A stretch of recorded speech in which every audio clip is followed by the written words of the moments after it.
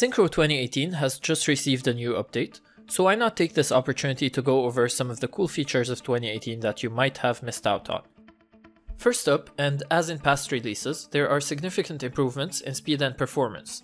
This allows you to have a better experience when managing large and complex projects. There are also some changes to the user interface with more tabs replacing the older collapsible title sections, which removes the need for excessive up and down scrolling to look for that feature or information you need.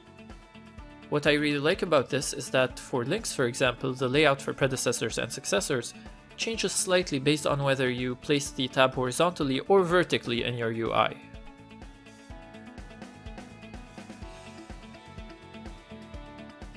Also, because of this concept of tabs, task and 3D filters have become much more intuitive, you can simply check the boxes of what you want to filter by, and a new tab will be added where you can specify the details for each parameter. For 3D filters in particular, there are new buttons to quickly activate in the selected 3D view or in all of the 3D views, and my personal favorite, you now have the ability to load or unload filtered or unfiltered objects from your memory directly from the filters list. This is extremely valuable for performance when you are working on different scopes of large and complex models. And yet another improvement added to Synchro's filtering capabilities, you can now click on any cell value in any table, like the Gantt chart, the resources table, the 3D objects table, and filter the rows of that table by that specific value in that cell.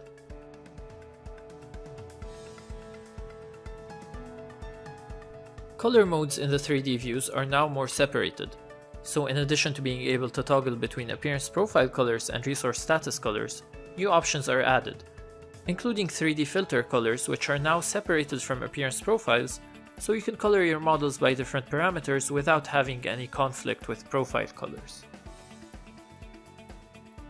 Another good example is coloring the model as well as the Gantt activity bars by activity code colors regardless of whether you're grouping the schedule by WBS or activity code.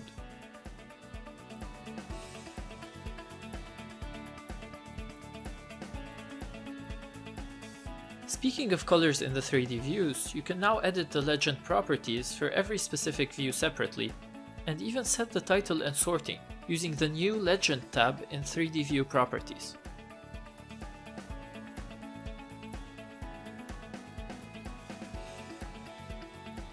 Some pretty cool improvements to data visualization were added in 2018, including the ability to toggle between incremental and cumulative graphs for any quantitative parameter in your model, or plot both at the same time with different scales.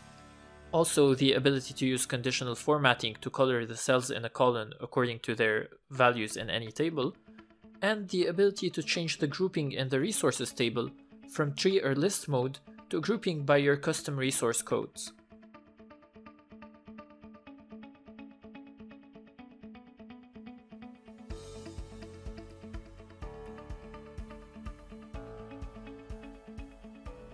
When drafting a big picture schedule or sequence, you can now easily draw your schedule and links directly in the Gantt chart and then fine tune once the discussions get started. This feature is pretty handy when you need to come up with some really quick prototypes in a meeting. Auto-matching capabilities were expanded to include 3D user fields, resource codes, as well as nested values for activity and resource codes, and you can now use it to auto-match resource groups to tasks as well. And if you've started using the Synchro API, you can now interact with the data model in the form of an SQL database and quite easily integrate with business intelligence tools such as Power BI.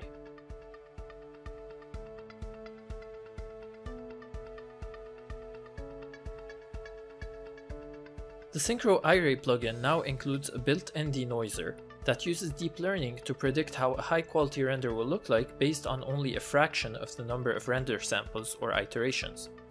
For example, this is a 300 sample render that takes about 10 minutes on a standard BIM laptop to generate, without the denoiser, and this is an 8 sample render that literally takes less than a minute to generate and uses the denoiser.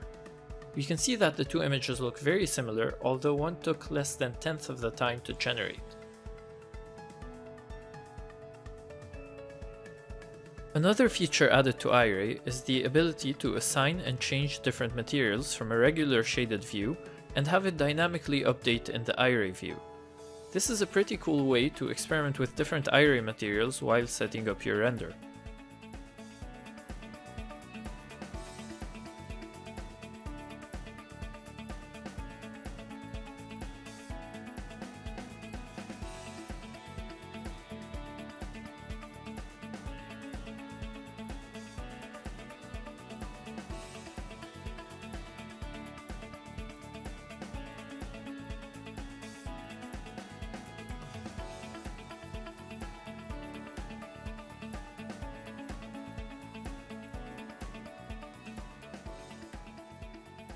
In addition, Synchro now allows you to add Iray light sources for those poorly lit indoor renders.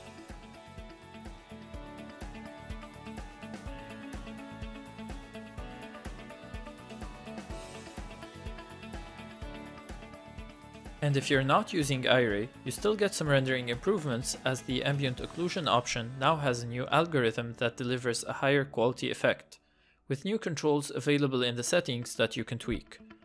Combining this effect with shadows and lighting can produce a really nice high quality effect without having to go to photorealism.